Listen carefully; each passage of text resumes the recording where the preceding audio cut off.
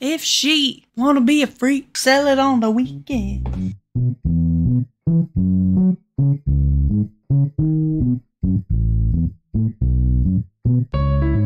Ever since I was a little girl and he was the voice of the hot one in Hunchback of Notre Dame. yes. I love it.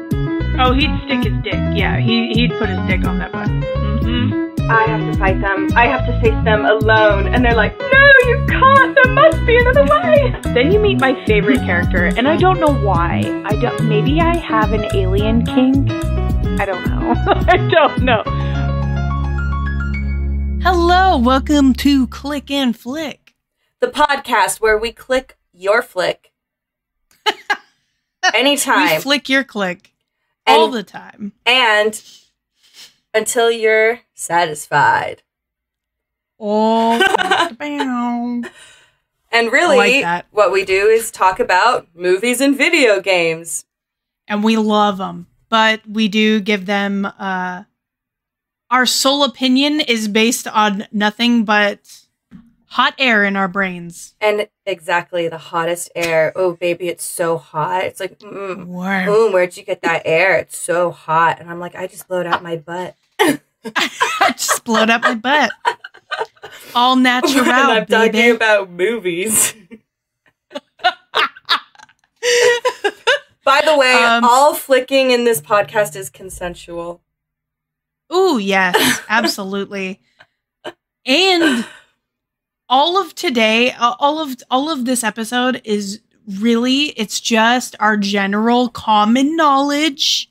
We are not historians, we are Thank you. not critics. Thank you. There might be a lot of like this ticket, ticket, ticket, ticket, looking things up for years Yes. if we want to.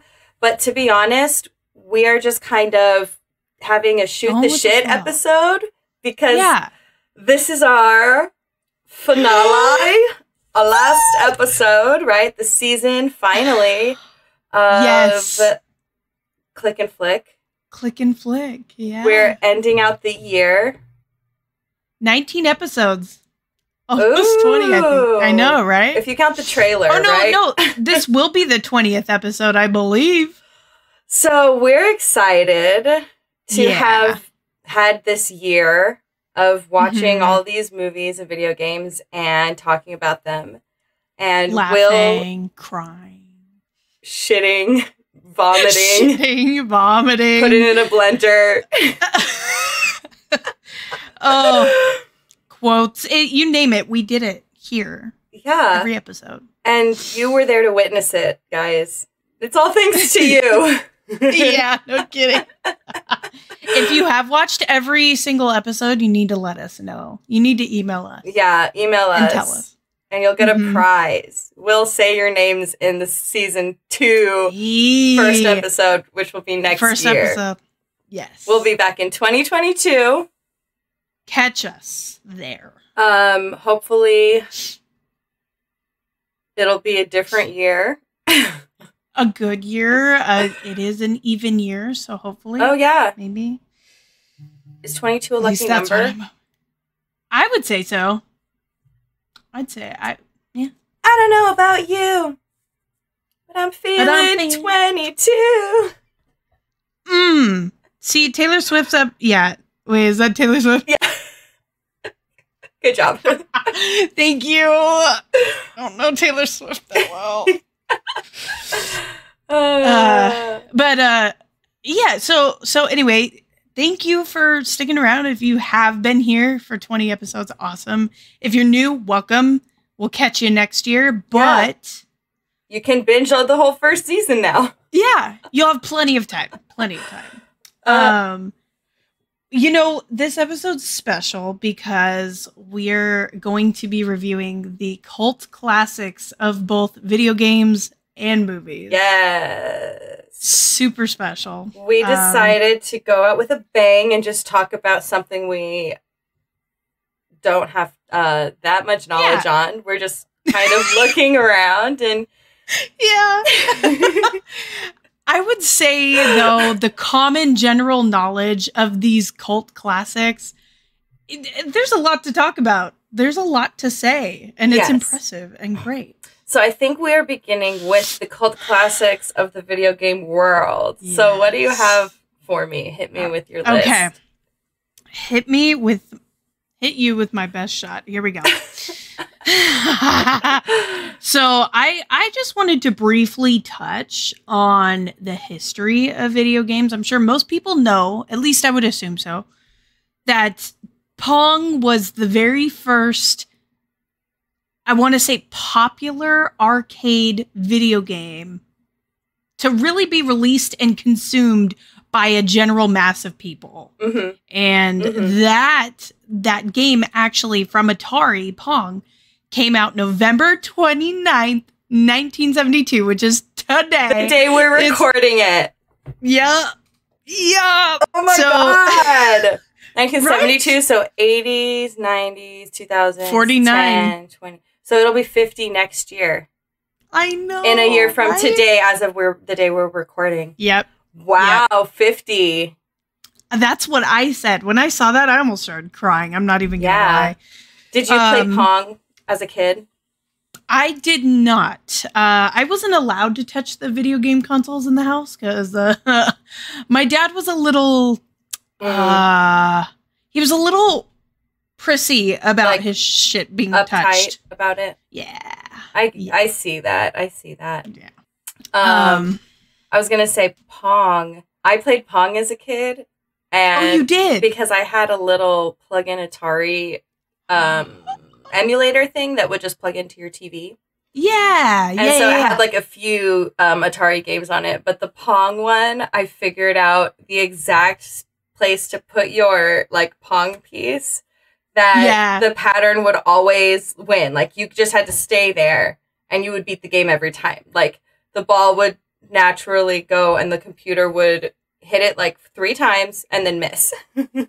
oh, if you just kept your like little guy at the right exact angle.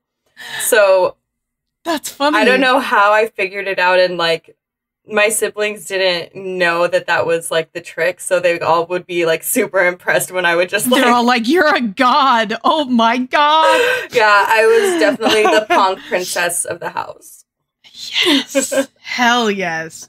You But know, I don't know I, if that would work on like every version of Pong because it was definitely like a coding error error in that game. So like in my little system, you know what I mean? Yeah. Yeah, I feel that. That's I'm glad you actually played Pong I, Mhm. because I didn't as a kid. I played it later, obviously. But um the I, what I wanted to say after Pong 2 was that Space Invaders was the next it was the second biggest arcade Mm. game to come out and that was um that was by the company Midway. And I guess if you really Midway, like the furniture company. That's where I got my table. Midway, They shout started out, not with a sponsor. video games, and then they went on to furniture. Full circle. I don't know. I I would be very impressed. Probably not. if right. Um, Space Invaders did come out on in 1978. So I I don't know about you, but when I hear that year, when I hear 1970 anything, hmm I it's hard for me to believe it's almost 50 years ago. It it blows my mind. Right. So Right, because growing up, it was like that was like thirty years ago.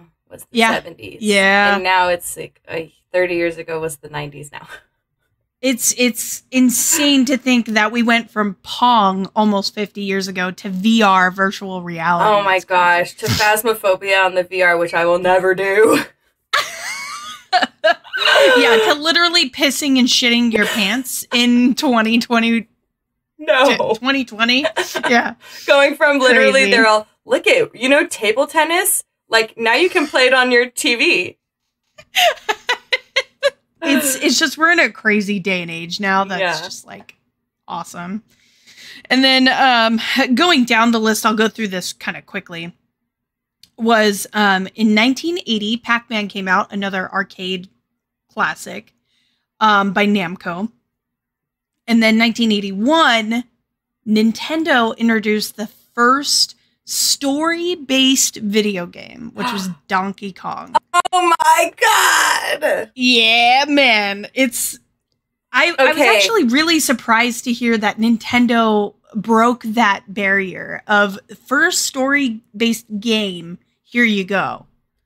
But it's 2D, obviously, but Right. still really neat. Yeah, I love that though. Um, Yeah. so the folklore that I've heard about Donkey Kong, and I don't know if you can verify this or if it came up at all for you in your research. Yeah. But that it originally was named Monkey Kong, and Oh. the character that. in Japanese for monkey is very similar to donkey. And when it was translated in America, the people who were translating it apparently they um just mistranslated it and be- it became Donkey Kong. Um, because the characters were too close Americans. and they yeah, that's what I heard. So, you know, if that's true or not, Jeez. that's the old wives' tale. The boys on my I mean- block told me that in third grade. really? yeah. Shout out. I know that Mario, that we know now of Mario, um, his name in that game was Jumpman. So his name wasn't Mario until later on. And it was even like before Jumpman, I think it was like uh carp oh it was something weird. I, I Mm. should have wrote it down, but it was like something like Carpenter Man or or it wasn't Plumber? plumber, it was something No? else. Oh. I don't I don't think it was plumber. but really crazy. It was it was a really cool like understanding uh series of events that led to Nintendo. I was just Uh-huh. like awesome. wow. Um and then the legendary game of Zelda comes out in 1986 on the NES. And that snowballs, you know, like that series and franchise has snowballed so much. It is like That- oh, literally taken on a life of its own. Right? Like, wow. Holy crap. And you know, those are just to name some of the few. Like Right. I, I I- stuck to mostly story based games, but I think like I would say probably the one of the major contenders to Zelda as far as like franchise games is Mario. You know what I mean? Mhm. Like those are definitely yeah. the top two that Yeah. like will always have a name in video game history. always and well in, You could and in video game future, in my opinion. Right. You know what I mean? right. Um you could literally ask anybody on the street, do you know of Zelda? You, you wouldn't even have Mhm. to say legend of Zelda, but you would just say Zelda Yeah. or Mario and people would know. exactly. So yeah. I definitely a classic. And then um I don't know if you have any because like I said, growing up I didn't have a whole bunch of access Mhm. to the game consoles. I had access to a PS1, I had access to an N- N64, and then I had um the SNES. I didn't have a Dreamcast and all of that. My dad did, but I never played it. uh-huh. Um, so my first real console that was mine and it was in my room Uh-huh. was a GameCube. Oh Yeah. I, I, love that thing. I still have it. I love it. I didn't have video games growing up either, except for that little Atari thing. Um, Oh, uh-huh. because my family was super poor. But Yeah. my friends had video games. So, like the boys across the street, Rocky and Randy, you know, shout outs again. Randy. they would we would play obviously like Mario Kart, we would play Tony Hawk, we would play um s- the Star Wars one. Oh, the battle Battlefront. Yes. Yeah, yeah. But Mhm. um and then we would play and then for one year for Christmas, my mom's friend sent us a PC. And so we were like, "Oh my gosh." And so Oh. we could, could play we played Tomb Raider and The Sims and Frogger 2. Yes. Um, and then my friends my friends from church would let us borrow their N64 and Super Nintendo consoles um, every now and then so we could play and then we would always play when we would go to their house so i didn't own yeah. my own video console until i was like 13 or 14 and it was an old N64 that we bought off eBay Yes. that came with like Yes. six controllers and like 12 games. For like Back then it was probably bucks. cheap as dirt. Yeah. Yep. Yeah. Mhm. Um I went to, fun fact, I went to all pawn shops for all of my gaming needs. yes. All the pawn shops, like Yes. memory cards, controllers, you name it. I was there with them. And then I didn't get a GameCube until I was an adult and had my own apartment. I think I played that GameCube with you. You did, and you got me a memory card for it that I accidentally threw away because it was in the Christmas. Like, you're all, did you get the memory Oh, card at the bottom of the bag? I was like, what? And then I had to dig through my dumpster outside. You're like, the no. apartment Yeah. complex. But I got the memory card. Thank you. Yes, girl, you have to. Um, and so I tried. I I should have done a lot uh more research ahead of time as far as like not research, just polling, just figuring out what people thought were cult classics Mhm. of video games. Um, but I got a few good answers today Uh-huh. thanks to my Discord. Shout out to my Discord. But At Kita64, Um, go follow. hey. We'll put it right Um, here. Bing. Uh, so I wanted to start off by saying Minesweeper, Solitaire, those games were my childhood. I love those games so much, by the way. I I would consider those cult classics, okay? Yeah. I think Just. Minesweeper for anyone, it was like I would say like 70% of people I saw playing it were just clicking buttons. And then you Yes. like when you saw someone who knew how to play, you were like, "Oh my fuck. You know how to play that Yeah. game." How? Teach me. so like my my abuelo taught us how to play that game. really? And he um yeah, so he was just like it's really easy. You just have to count um like the squares and see how many bombs and so Uh, I would always play on beginner, but watching him play was like, you know that he played it all day at work. You're right, right, exactly.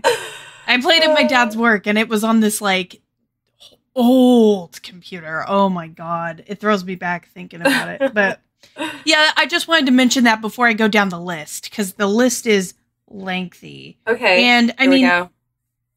I'm touching on on Yes. I'm just touching on the list of of cult classics that people have given me Okay. and some of my own. So Okay. I know there's way more out there. Don't hate on me. Don't at me. Okay. Yeah. Or like email it to us and we'll review it. yeah. Email email me your us your list of all your cult classics. exactly. Um, exactly. So to start off, we have asteroids. Uh that was uh runner up with Space Invaders for sure. Yes. Earthworm Jim Earthworm and double O. Jim. Yeah, Earthworm Jim was uh that was hold on. Wasn't on. Oh, it's gonna hurt my brain to try and think about it. Wasn't on the Oh, it was on Sega Genesis. That's what it was. Oh, okay. Sega Genesis. Um, and then 007 GoldenEye on N64. That was mine in particular. I loved that game. Right. Oh my gosh. Right? That's probably the only first person shooter I've ever had fun playing. right? Like you could spend hours on that game. For it some was reason, so fun. all the games after that, the boys got mean. I don't know what happened. They did. Oh my god, you're so right. but that game I had fun playing. Agreed. Oh my god. Um Sims is Big heart. I don't care if anybody wants to fight me over that, I will die on this hill. Yeah. Sims is a cult classic. Okay. It's yeah, definitely like it lives up to today. Like it is yeah. been it's probably the most expensive game you can get if you buy the entire like, game. All of yeah. the expansion packs and everything. And yeah. how far they've come in like advancements. I remember playing The Sims, and then when The Sims 2 came out, I was like so impressed. I was like, look how far you can Yeah. zoom in on them now. You can go all the way to like their waist or something like. it was like it was it was it's revolutionary. And then Mhm. Sims 3 was like another huge was like a huge step and then Sims 4 was just a total like reset of even gameplay. So Yeah. Yeah. I'm a huge fan of Same. anything that's not my life. Just any simulator, yes, give me. Um then Crash Bandicoot was a big one. I got that answer from a Oh. lot of people. I played Crash. I played Crash Bandicoot at my dentist because my kids Oh, my children's dentist had a had each dentist chair had a big one of those big old thick square TVs like hanging Yes. upside down on top of you and so you would just be like ah and like what a badass dentist. Oh my god, Yeah, that was, like, pretty that was like the only one of the one of the best things about dental hygiene. right? Crash Bandicoot. kids would definitely go more if they had access to Wi-Fi and video games nowadays, you know. Yeah, and now it'd be even easier with like flat screens and switches and things Mhm. like that. Yeah, for sure. That's what I'm saying. My dentist was on top of it. I don't even remember going Top to the tooth. dentist. Top tooth guy. yes. Five stars. Um Metroid was next. Metroid I got quite a few answers for as well. Mm-hmm. Yeah, I remember that game. Okay. Yeah. And then one that slipped my mind in the minute somebody said it, I was like, oh my God, yeah. I never played it, but it's Mega Man. And Mega Man's like right up there with Sonic. Like people idealize this character and just like, you know, True. Back then kids were like, I'm running as fast as Sonic. And you're like, oh my God, yeah, you are. You know, like it was just. And you're like in your head, you're like, oh my god, shut up.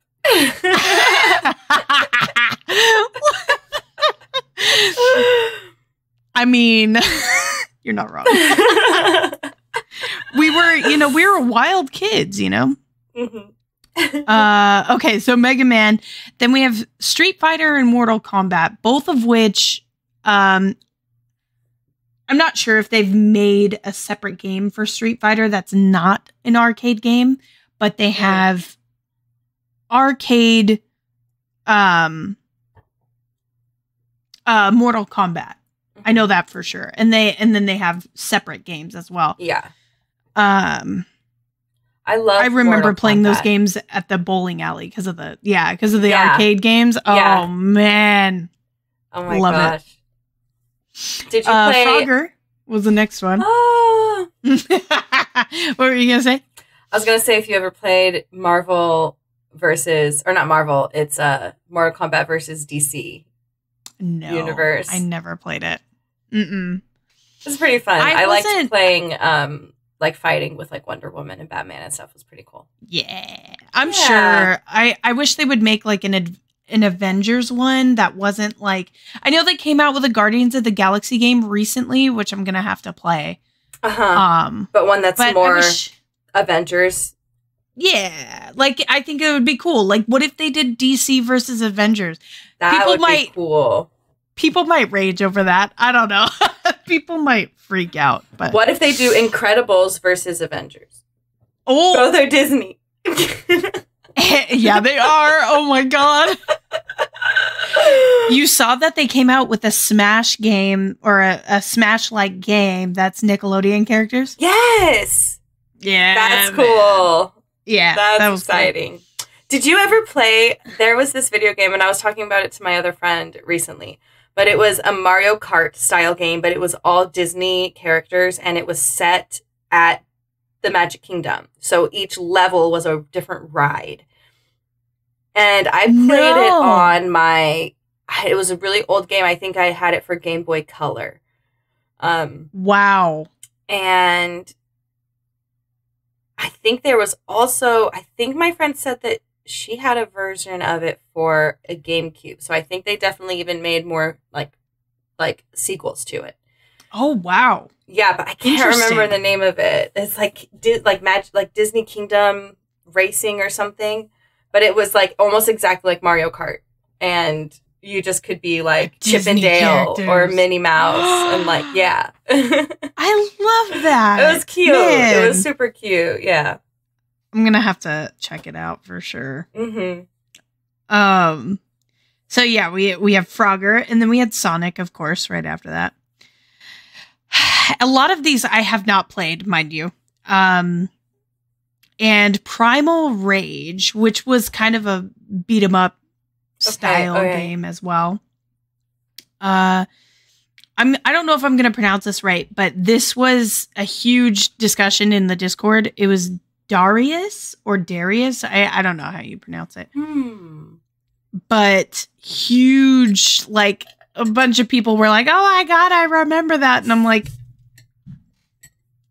i was uh I i was kept in a closet my whole life no i'm just kidding Harry Potter. Harry Potter. Sorry. Sorry. Oh my god. We're obsessed. um we are at we are it's okay if we don't have you quoting that tiktok by the end of watching one of our episodes i'll be highly disappointed yeah. Um, Lost Vikings was one of those cult classics that was recommended by my friend Rex. And then Crazy Taxi was mine because Crazy Taxi, every time, see, I didn't have it for a console, I played it at the arcade. Um, Hmm, okay. Crazy Taxi was the shit. Okay. You like were living your best ska dreams. Like you were the alternative ska embodiment when you were playing that game. So you just did you play it? No, I have no idea. Oh, oh my god. I'm okay, just so delighted that you're so like overjoyed right now talking about. I spent many an hour on this game. Um and I think what was cool about it is that you weren't in this like arcade game shell. You literally stood up and um you Oh, were okay. I think you were in a car like in a car seat and you Hmm. just had the steering wheel and the gas pedals and you would get in this taxi and your whole point and job was to like uber people taxi people from place to place and you had to get there within a certain amount of time Hmm. and every person had like a story or like like a thing they'd be like take me to the beach. And then it'd be some girl with like pink hair. And she's like oh my god you just hit that person. Or like oh my god can you drive better? Like it was it was just it was the best so stupid game. Yeah. But they would play the best ska music. I Oh would my say God, like a mix of ska and alternative music. It was That's awesome. Oh love Crazy Taxi. Um, the next one on the list is Myst. That was recommended by Kendra. Quite a few other people had mentioned it too, or at least knew about it. I had never heard of it though. Um, and then Pokemon, Pokemon Red. Mm. Okay. Pokemon is a long, like, charging franchise that stuck it out on that Game Boy, and I, I'm pretty sure it came out on something else, didn't it? But Um. I remember Pokemon from the Game Boy, personally. Yeah, same. I played Pokemon. Um, I actually played it on PC on an emulator online, just some random website. Oh. Um, hmm but who was your first starter? It was always Squirtle. Always. I, I, like, I never, well, I may have chose, uh, I maybe picked Charmander, like, once. Mm. Once. Who was yours? Uh, Bulbasaur? Bulbasaur. yeah. Oh. Gotta love Bulbasaur. You know yeah. what? There's something to say about your uh, your starting Pokemon for sure. I want to make Elias do it. And Just see what he chooses. like have like little plushies or have him play the game Mhm. Both. with the little because I've seen like um parents with when their kids are first starting to like walk and stuff. They like set Uh-huh. up their little plushies. They're like, pick your starter, and they like walk to It's whoever so they want. cute. I did it with um with the Harry Potter houses, and he chose. Oh, you did? in particular. Yeah, Mm, brave, Brev. Very brave. Courage. Purge. Chivalry. Uh, chivalry. no. um, after Pokemon was Metal Gear Solid.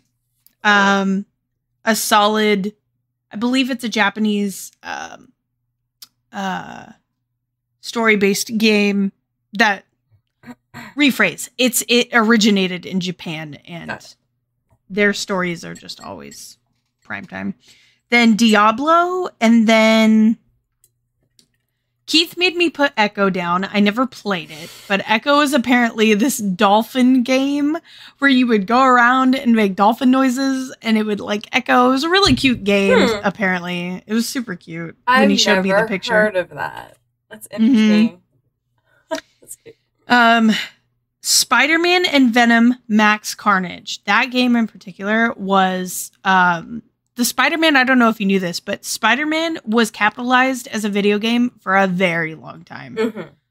Those games came out pretty much on every single console s- since the dawn of time. It feels like. So that was obviously on a cult classic list. And then the last one is Yoshi's Island. Yoshi's Island. I never played personally. Did you play it? Um, yes. I played it Oh. on the the remake when they came out for the 3DS.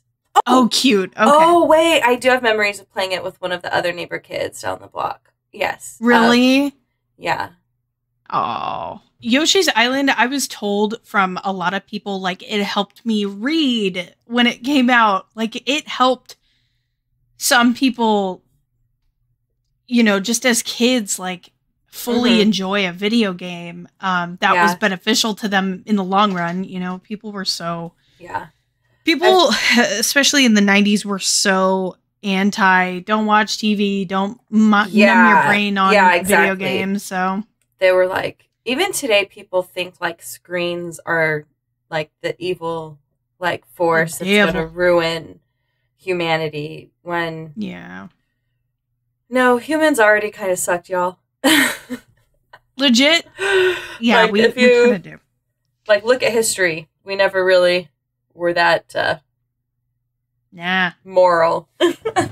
yeah, exactly i don't really have any cute like ideas like you do for for your list but Um, I have a couple games I played as a kid oh yes that I'd tell like me to add to your list. Um, so let me know if you ever played on the PC. We had Pajama Sam. Heard of pajama sam yes You were like this little kid who had to like you were afraid of the dark, so you had to have your flashlight, but you had to go um through like a treehouse to find like different clues. But the darkness was like the bad guy, so you had to go to darkness's house. oh my god darkness's house Um, yes And then the other game was called Putt Putt and Fatty Bear. So Putt Putt, it was actually two separate games, then had like a collab. So the Putt Putt game was like this little purple car, and then there's like this game Fatty Bear, and it was just like a hot bear that was like really sexy.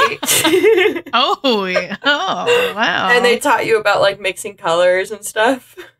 oh yes but that was like along with Pajama Sam. Um, and then the other game I wrote was Backyard Baseball. Did you ever hear that game? I have heard of backyard baseball. So I, I I may have played it, but I don't recall. I would play that game all the time, and um, it made me really feel like I liked baseball. I was wrong though. It, I liked the game. But then when I started experiencing different parts of baseball in real life, I was like, this isn't like the video game. I'd rather just No, sit at home. mind. I feel that. Oh my. I I there was a few games that I played. I played I played the Toy Story game when it came out on N64. Um and I loved it. I was obsessed. My dad must have gotten it for me, got it for me, Mhm. and as a kid I couldn't put it down. I was obsessed.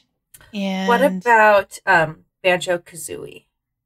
I didn't play Banjo Kazooie. I meant to put that on the cult list. See, and now that on the Switch Online they're doing N64 games, hmm I really, really hope they come out with Banjo Kazooie because that They've game was so fucking fun. That game was Yeah. like that game was intense. I loved Mm. it. I had I was like just as enthralled playing that game as I was playing Ocarina of Time. Right. Except that game was like silly and goofy, you know what I mean? But at the same time, like the adventure aspect was still and the puzzle solving aspect was still there. It was top notch. I Right. loved that game. It didn't sure. feel as pressure uh, as pressure. What's the word I'm looking for? As pressurized? As much What the hell? pressure, as much tension. Yeah, just as much pressure as Ocarina of Time. yeah, yeah, for sure. I feel that. Yeah. that's- Pretty much my list. I sure there's plenty more I could talk about, but yeah. I mean when you when you boil it down to what people have played, those really were the answers that classics. Yeah, just the classics. Like, you know, I to be fair, I was born in '94, so I didn't have a whole lot of experience prior to that, and games started coming out. that year. I didn't really start gaming until 95. 95. when I was one years old. I could put my pull-ups on by myself. Thank you. But yeah, it's and then knock out some noobs. I was wild on 007. Watch out. But yeah, that uh that completes my list. Ami. I'm ready. On to cult classics. So, for films, I kind of went with. I just have like a whole bunch of lists too. So we'll just Okay, cool. do the same thing. Um, we'll talk about certain ones. I'm not going to talk about the history of movies because obviously that's Right. boring because the history of movies is like the first movie was a painting and then they Oh. started putting a bunch of paintings together making them go really fast. And they're like oh it's a movie picture. And then they're like well we don't know how sound works. Boring. Let me just say everyone who was making movies like before the 30s and 40s you guys sucked. Just kidding. I'm just kidding. Calling it as she sees it. Okay. just- they didn't even have them in color. Whatever.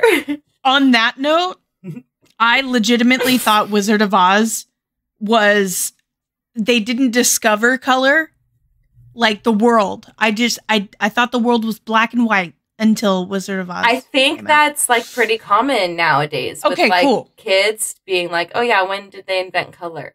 Because pictures like yeah, don't have them, but like obviously like little kids like right, right. um. So for the cult classic list, I went to the deep dives of white boy internet to find what was considered a cult classic. and then I ignored a lot of the suggestions and went with the only ones I Fair. liked. that's completely fair. so I wrote down the ones I'd heard of before, Yes, which is actually a makes it more long fun list. to talk about. And I have them kind of in different categories. So the first one I'm going to go through is comedies. oh, Um, give it to me. and here's what I wrote for comedies. Um, we have starting with some Monty Python movies. Yes, I have Monty Python and the Holy Grail and top. Monty Python's Life of Brian. Oh. So now Life of Brian is one that I have watched over and over as a kid. And I don't know a lot of people who watched it because most people love to quote Holy Grail. Um, I see. and Holy Grail was then made a musical, like Spamalot is was a Tony winner. So, but Life of Brian was pretty funny because it was about a guy who was born in Jerusalem, and he was born. So you know how, um, like in the Bible. Jesus is born in like a manger, and like there are like three wise men who come. So in Life of Brian, Brian is born in like the manger next to Jesus. And he no. his manger gets mistaken at first and the like the, the wise men come and they're like, "Oh, the Lord and Savior." And his mom's like, "Oh yeah, come on in. Well, I just had a baby. Come on and sit down. I'm like, blah blah blah." And they're all like, "What are you gonna name him?" And she's like, "Oh, I think I'll name him Brian." and they're all, "Oh, Oh. that's not the name that was prophesied. This must not be the right guy." And then they see like this north, like the star shining on the major across the way, and they're all, "Oh." Give me back my myrrh, my gold, my frankincense, and go over here. And so basically, then this guy's whole life, Brian's whole life, goes through, like, is Not basically being- he's the doppel like The like doppelganger, he's, like he's it. like Kirkland brand Jesus, and he's like he's like no no I'm not him, and everyone like thinks he's like a savior, so they like are following him like a cult leader, and he ends up being um at the end of the movie he is like on the cross and oh God. and um it's like by mistake like he's not supposed to be but he gets put up on the cross by mistake because they thought he was jesus. But then they come and they're like oh sorry we have the wrong guy. We're supposed to take brian. Which one of you is brian? And so everyone who's sitting on a cross there's like a bunch of people on a cross and they're all i'm brian. No i'm brian. No i'm brian. I'm brian. And then one guy's like Oh. I'm brian and my wife's name's brian too I'm Uh. upset. I have never seen this, and I'm going to watch it later. yeah um because that sounds hilarious. the next movies I have on my list of comedies is Napoleon Dynamite. oh, oh, Remember that guy? I feel like Just good call on the I feel- classic. I feel like um this has made some people's lists of cult classics, but then Yeah, some people I feel like um in order to like qualify as a cult classic, they want it to not be like really popular when it came out. uh huh. And I kind of feel like Napoleon Dynamite was kind of popular when it came out. It was. But then I remember I was in junior high when it came Mhm. out, which means Same. it was popular in junior hires when it came out. Maybe I don't know how it did amongst the average moviegoer. True. I'm. I'll look up how it did in the box office. All of my ahead. friends definitely went and saw it. And right. definitely would not shut up about it afterward. Um, and that actually has one of my favorite movie mistakes in it that you can catch when he's waiting for the bus, you guys. This is a fun fact. When Napoleon's waiting for the bus and it drives by, in the reflection of the windows and the door on the bus, you can actually see the entire film crew behind Napoleon. So next time you watch it, Oh. look for that scene. You'll see the film crew. It's pretty cool. Interesting. It's got a 6.9 out of 10 on IMDb, 72% on Rotten Tomatoes. Okay. Um, Okay. Well, I think a lot of other cult classics are still now considered like have higher scores now Right. from before when Right. they came out because they typically are like not popular with mainstream at first. right. There was one that I went, read about the Boondock Saints. Do you Mm, familiar? I've heard that? of it, never seen it So- though. theatrical release was like a f- total flop and it apparently was like the studios were like trying to suppress it and they like only opened it in like five theaters in America and for like a week and then closed it.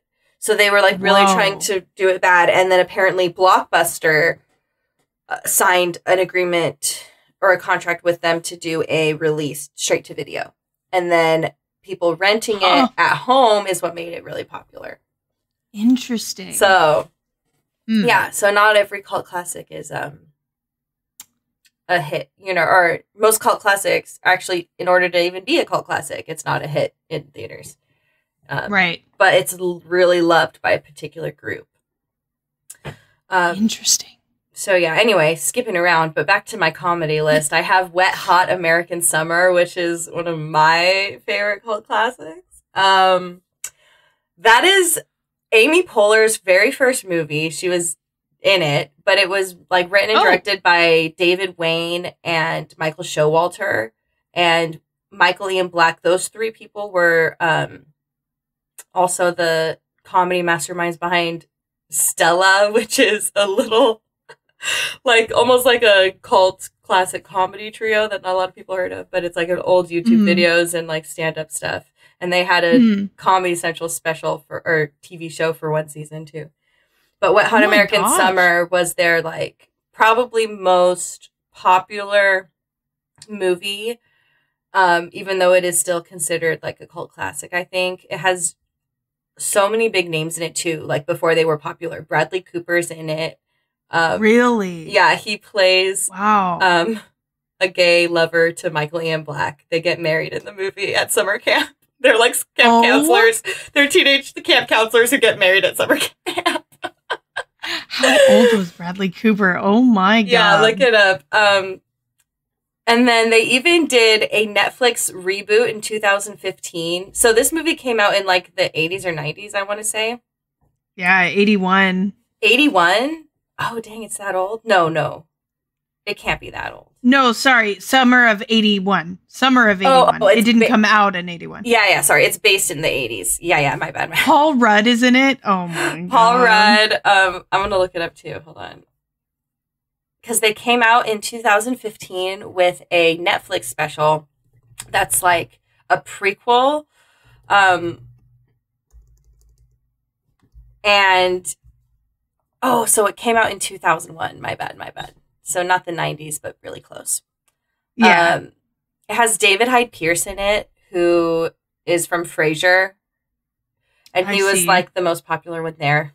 Um, it's got a 38% of Rotten Tomatoes.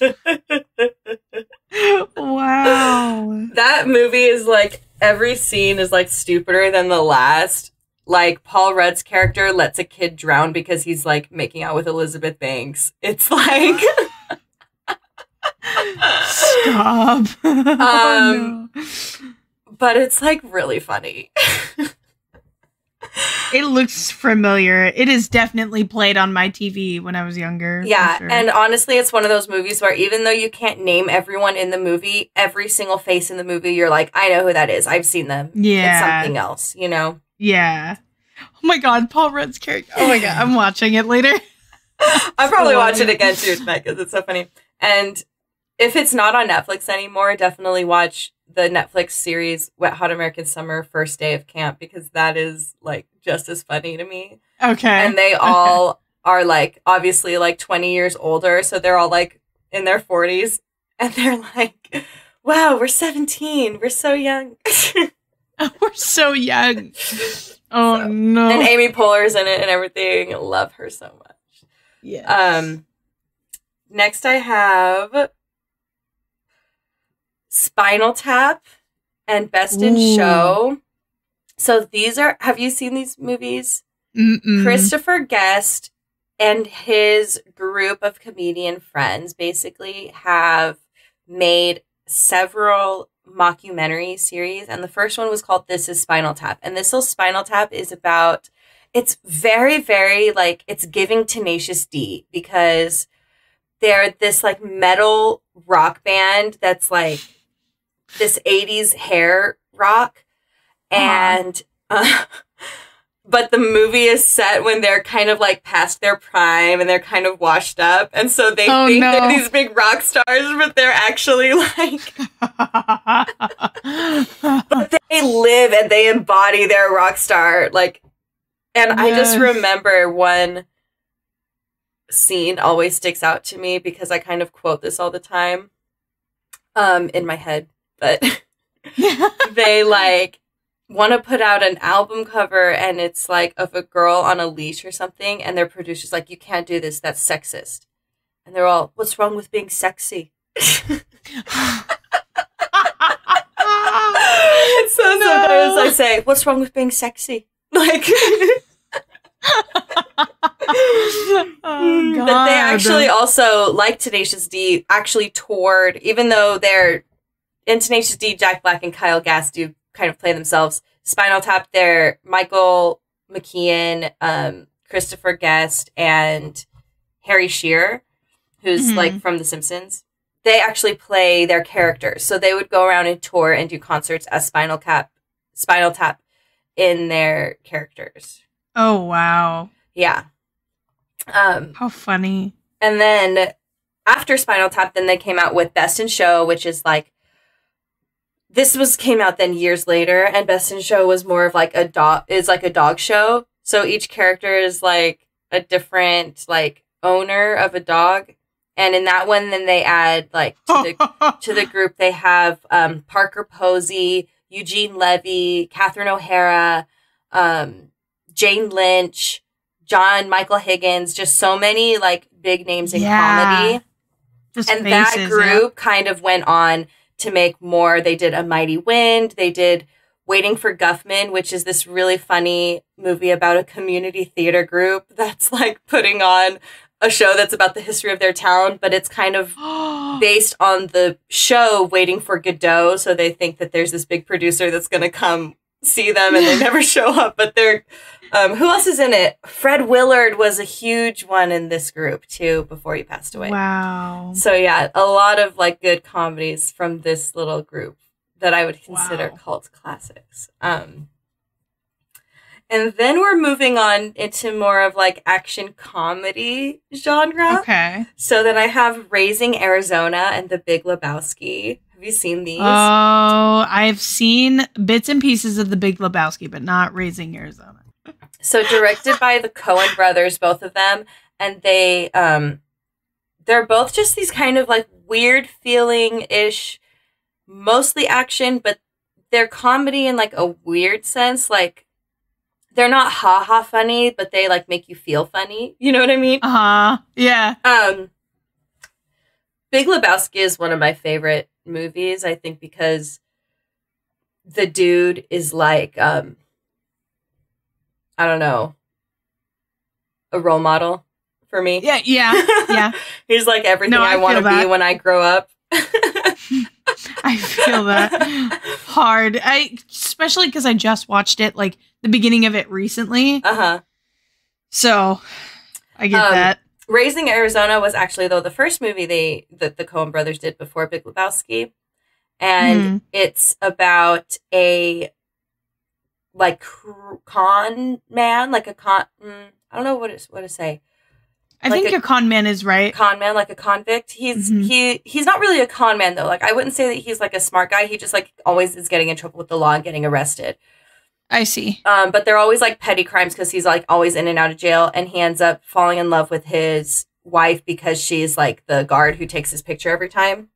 hmm And they get married and they can't have kids, and so she sees a news article about like the rich people, the rich family in town had like quintuplets. And they're like, oh, Oh, well, they have way more than they need, so let's steal one of their babies.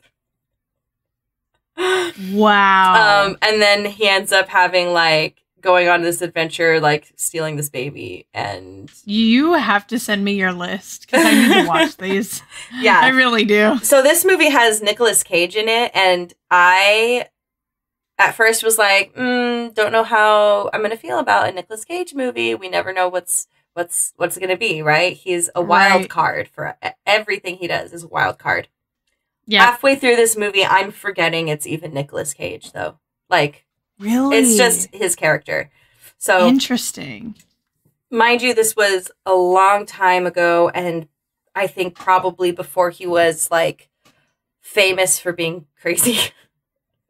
Yeah. um, So then the next movie I have on the list is The Princess Bride. Yes. Which yes. A million times. this is one that I want to ask.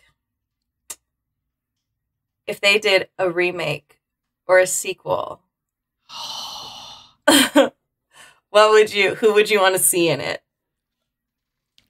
Oh God. Um. I want to hear your answers first while I'm thinking of mine Okay, okay. because that's gonna take me a minute. because I I don't know where I read this or saw it on a video somewhere. But saw somebody talking about if they did a remake of this, uh huh. they should do it where Fred Savage is grown up and the dad and his daughter is sick and he is reading her the story Um, I see. he's like, "Oh, my grandpa used to read this to me when I was sick," and he reads it to her. So then the whole story is from her imagination. So Got what it. she would be imagining everyone looks like. You know what I mean? That's really neat to think of it that way. like, yeah. I would love that. I don't remember where I saw that, but I do think that would be such a good idea. Oh my god! If so, oh my god, nobody can compare to. Cary Ellis. Do you pronounce it? Yeah, do- I was gonna say. How do you Cary pronounce his name? Elwes? Cary Ellis? Elwes. Yeah. Nobody can compare to him. I just I love his humor and his wit. You know what? Hmm. This might be a little like left field, Uh huh. but I feel like um gosh, what's his name? Uh hold on. He's on he was a doctor on Doctor Who. David Tennant? No, not Da- David Tennant would be good though. Benedict no, I'm- Cumberbatch? No. no, what's his name? Damn it. Um it's it's uh bleh. Matt Smith.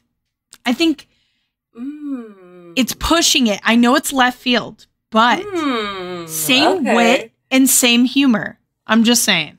Okay. It would work. Okay. But I, I, I know a lot of people would be like, um, he's not that handsome, but he can be. okay. I was thinking um I don't know like what the age range it, it, it should be. You know what I mean? Like Uh-huh. I also think if um current Spider-Man the sweetheart kid, like he's Tom like- Holland. I feel like he might be a really cute, yeah. a really cute uh Who would I put as Buttercup? Doja Cat. No question. Oh Girl, Doja Cat is bae. Because oh everyone thinks she's hot. And she has to be the Yep. most beautiful person in the world. So, duh. Duh. Yes. Maybe if Matt Smith was a little bit younger. oh, wait. Who's the guy from You? Yeah, he could be a Westley. I don't find him attractive. I don't know. I don't know. Never I mind. mean, never mind. abort. Abort. But I feel like he could probably act it well, really well. Who else could be Buttercup? Ariana Grande. yes, please. She'd be cute too. Oh my Yeah. god. I would love that. Oh, ow. And then, Ow. of course, the little guy who's um the Sicilian little guy. Uh huh. Um, I would make Ben Platt.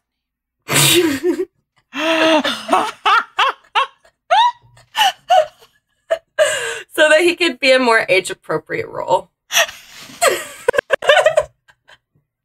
Girl, throw that shade. I'm tearing up. I don't know if you can see that. Oh my gosh, I want to move on. I want to move on. So then some Okay. other cult classics that I have. I'm just gonna spit fire. Okay. Mars Attacks. Yes. Loved that movie when it Me came too. out. Thought it was hmm so the perfect mix of funny and scary. Yes. The Room. Have you heard of that movie? No. So it's well known for Mm. being historically the worst movie ever made. Really? And if you you just watch like clips of Oh it, no. Uh huh. it is so awful.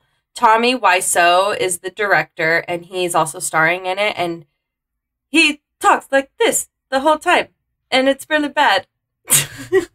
I have heard of this.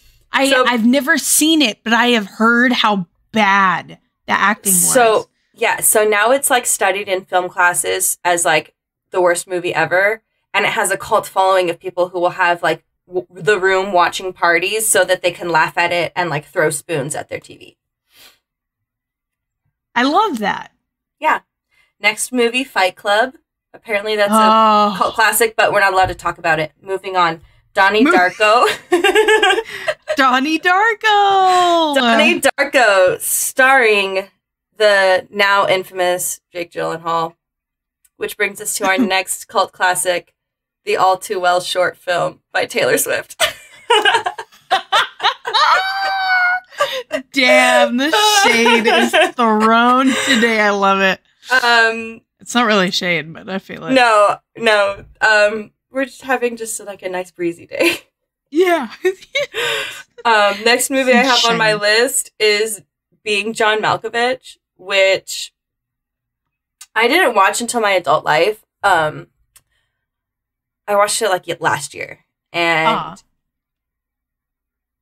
I'm looking I- these up as you tell me because I want to see what it looks like. I think that it was from the same director, Christopher Nolan, who did um, that movie we talked about on the podcast. What was it called? Which one? Which movie? I'm thinking of Ending Things. Oh, okay. Um, so he did this other one being John Malkovich. So you know how that's like all creepy and like weird, like mind trippy. Same thing with being John Malkovich, but it was like honestly so bad. Like I hated that Really? so much. Yeah. Oh, wow. Um, like it didn't make sense, or it was just poorly like directed, or both. ooh, yeah, yikes. it was kind of um, yeah, just dumb. I just hated it. I just didn't like it at all. There's nothing Oh, no. particular except just the whole thing. Wow, Um, yeah, it looks and then, interesting. And then I have my last group of cult classic, which is musicals. Um, uh, so we have Music. Hairspray, which kind of is actually a double cult classic because I think both movies count as a cult classic. The original movie, which was Uh huh. just the movie Hairspray. It wasn't. It wasn't really technically a musical. But then they came out with the musical movie, and I think they both kind of count because they Oh, both wow. were like not that popular amongst mainstream audiences, but amongst their own like fans, like hmm super super um highly regarded. The other one I have written down is Crybaby, which is like the same direct. I think Crybaby was the same director as the original Hairspray. Although, don't come for me at that one because I don't. I'm not for sure. Um, but it's definitely like the same style. And for me, I conflate them because I watched them at around the same time growing up. Uh huh.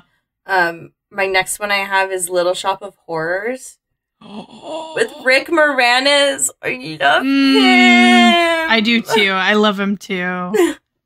One of my favorite actors as a kid, and pretty much anything he's in, I love him in it. So, uh, and also Steve Martin is the dentist in that movie, um, in Little Shop of Horrors.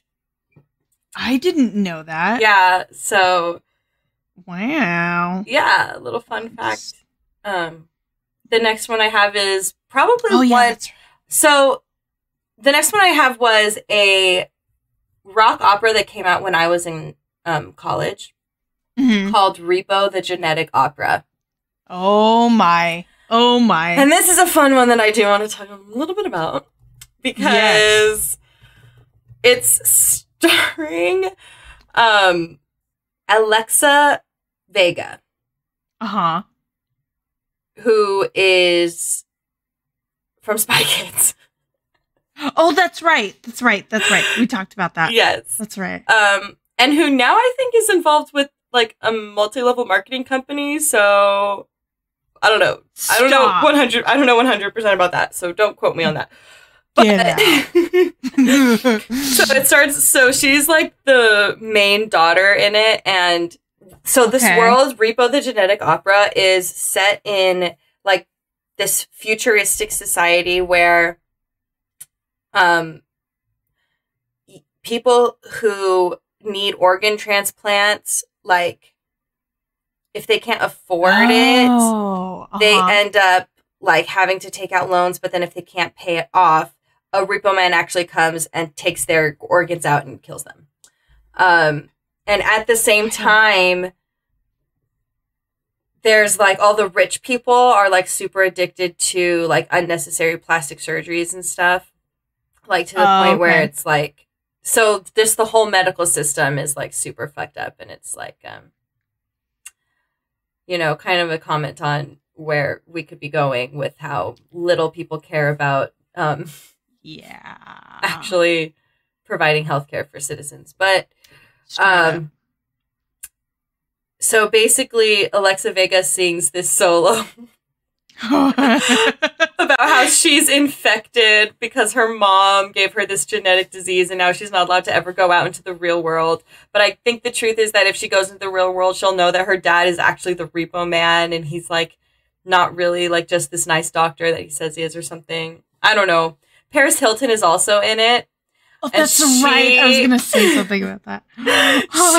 she has a scene where she's like singing this like opera and her face ends up falling off like because she's like addicted to plastic surgery and it's like gone too far oh god. this movie has so much and sarah brightman is in it who was the original christine in phantom of the opera oh, this movie has so much like cult classic elements to it and then it's all wrapped up in this like goth wrapping paper with this like edgy rock bow to top off i think it's probably one of the most uncomfortable i've ever been watching a movie if i'm Oh, being wow. honest and i will never watch it again but It has Paul Sorvino in it. the people who love this movie really love this movie. And I think it's because it is kind of like this generation's version of what, and this will be the finale, the last movie on my list, the last cult classic, is um, Mhm. what Repo would be this generation's version of Rocky Horror Picture Show. So I think that when you hear the name cult classic, the very first movie you think of is Rocky Horror Picture Show Yeah. because this movie is literally like when it came out it was a total flop from mainstream audiences. The christian um americans wanted it to basically not exist. They were like if we could have a book burning for this movie we would. Yeah. um, and the select fans that loved it ended up just keeping it alive. Like they were the life support for this movie that kept pumping Honestly. this to keep, um, to become like basically how well known it is today. And these fans would go watch these midnight showings completely dressed up as characters. They would bring like sex toys and Yeah. like The whole nine. Like noodles or something, things to throw. yeah. This Some would is like tomatoes. I heard of some like group. There was a group that I knew long before I even knew theater was a thing that Mhm. would bring tomatoes to one showing and it was it was a huge deal like yes. in my childhood. and so I think that's what really made like the idea of a cult following really popular. And nowadays just like having something that you can be that like much of a fan of, like having something that you can have such a big Yeah. I don't know what Passion for. Exactly.